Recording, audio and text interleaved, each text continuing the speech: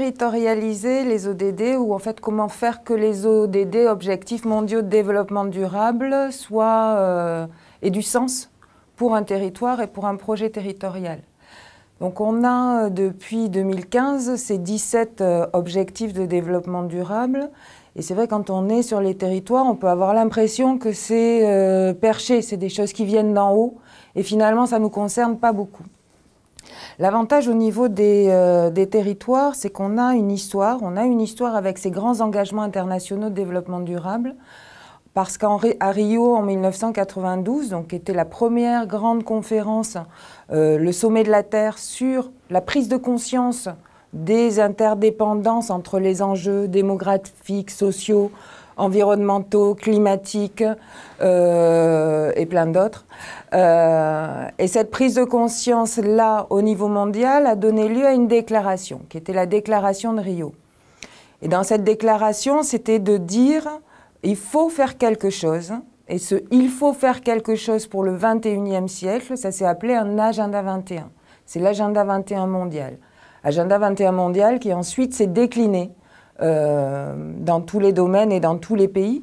Mais ce qui était intéressant dans cette, euh, cette approche de l'agenda 21 mondial, c'était de dire on prend conscience au niveau international de l'interdépendance des enjeux écologiques, sociaux, environnementaux, économiques, etc.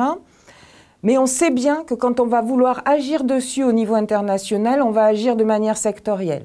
Et c'est ce qui s'est fait avec les protocoles sur le climat, les protocoles sur la biodiversité.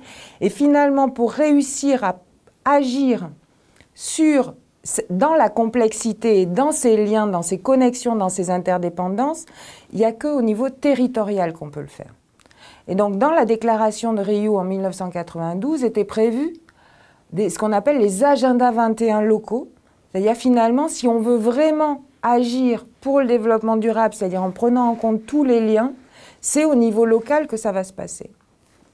Donc cette invitation faite au territoire de se saisir des grands enjeux et de voir comment lui et tous les acteurs sur son territoire, en fonction de son histoire, en fonction de ses spécificités, peuvent agir, c'est une question que les territoires sont invités à se poser depuis 1992. En France, il a fallu un peu de temps pour que ça monte au cerveau. Et ça a vraiment commencé à s'inscrire dans le paysage euh, des collectivités françaises euh, dans les années 2000. À ce moment-là, donc on a eu un fleurissement de ce qu'on appelait les agendas 21 locaux. C'est une des démarches les plus euh, abouties pour réussir à amener un projet territorial de développement durable. Projet territorial de développement durable, il va définir où on va, donc on avait cinq finalités dans le cadre de référence nationale et il va définir comment on y va? Donc on a une boîte à outils avec des éléments de méthode qui sont la gouvernance, la participation citoyenne, l'évaluation, etc. Ces éléments-là, on les a manipulés sur les territoires. Concrètement, en Gironde, le département de la Gironde est engagé en Agenda 21 depuis 2004. Il anime un réseau avec toutes les collectivités en agenda 21, donc il y en a 70 en Gironde. Et donc ça fait que depuis 13-14 ans, on apprend ensemble à essayer de faire concrètement du développement durable dans des projets stratégiques, dans des projets territoriaux de développement durable. Ce qui est intéressant avec ce qui se passe avec les objectifs de développement durable, donc ces 17 objectifs qui ont été adoptés en 2015, c'est qu'ils viennent nous rappeler un peu aux urgences. C'est-à-dire, en gros, c'est bien. En 92, on s'était dit, oulala, là là, il y a des problèmes, il va falloir agir pour le 21e siècle. Là, ce que disent aujourd'hui l'ensemble des États, c'est 194 pays qui ont signé euh, ces 17 objectifs mondiaux de développement durable et ces 169 cibles à atteindre d'ici 2030, c'est de dire, ouh, il faut se réveiller un peu, si on attend la fin du 21e siècle, pour agir, ça sera trop tard. Donc l'agenda, il ne doit pas être 21, l'agenda, il doit être 2030. Et il doit être 2030 en ayant conscience des urgences, c'est-à-dire en revoyant l'ambition et ce sur quoi les projets territoriaux, les agendas 21 et assimilés avaient pu se perdre en devenant un peu des collections d'actions. Finalement, on disait oui, moi sur la biodiversité, je fais ça, sur la solidarité, je fais ça. Mais finalement, On avait un peu perdu cette euh, logique de comment on agit vraiment à la hauteur des enjeux. L'invitation des ODD, c'est de dire, et de l'agenda 2030, c'est de dire, vous avez toute cette matière, vous savez maintenant sur les territoires travailler sur un projet territorial de développement durable. Maintenant, faut les faire remonter, faut qu'il y ait des impacts par rapport aux enjeux, parce que la situation est grave.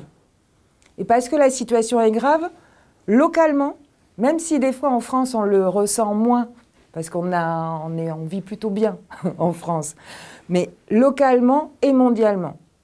Il y avait Nicolas Hulot dans le dernier sommet pour le climat qui a dit finalement c'est la première fois qu'on est condamné à échouer ensemble ou à réussir ensemble.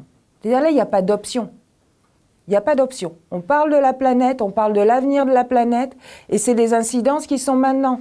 Et on parle évidemment des liens entre le climat et la solidarité. On parle évidemment de la biodiversité et des, euh, et des migrants.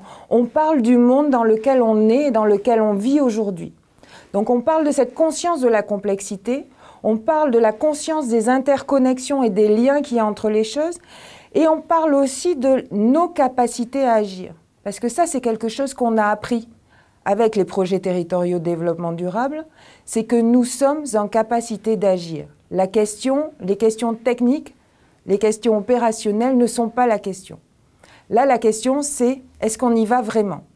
Donc ce sur quoi on travaille quand on est en prise avec les urgences, ça va être sur la question de la transformation on n'est pas uniquement sur les questions d'amélioration continue. Il ne s'agit pas de faire un peu moins pire ou d'avoir des choses à mettre en vitrine en jouant au loto des ODD, en disant c'est bon, ODD 12, euh, j'ai fait telle action.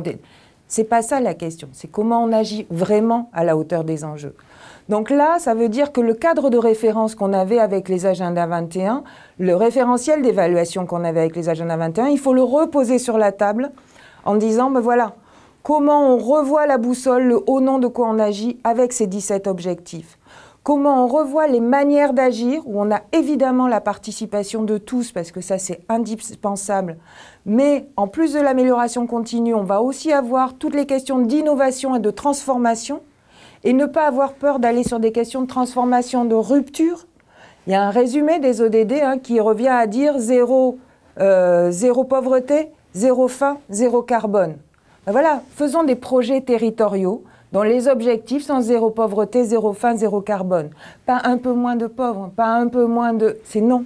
Donc à un moment donné, c'est comment on renverse la table et comment on le fait tous ensemble pour agir à la hauteur des enjeux. Donc c'est vraiment ça l'enjeu, c'est comment on va... Les transitions dans lesquelles nous sommes, elles sont inévitables. C'est pas au choix. Elles sont inévitables, on est dedans. Par contre, la justice, elle, c'est une option. Donc quand on est acteur sur les territoires, on va construire des modes de résolution et d'action qui vont viser cette inclusion et cette justice euh, sociale et écologique pour tous. Voilà, c'est ça notre mission. Donc on va aller sur ce qu'on appelle la co-responsabilité.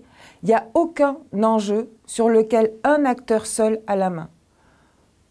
On va s'interroger tous sur quelle est la part que nous avons pour atteindre ces objectifs-là Comment, en conscience, on fait 100% de la part que nous avons et comment nous aidons tous ceux qui ont une part à faire la leur. Donc c'est comment on va créer un écosystème de co-responsabilité qui soit réellement à la hauteur des enjeux.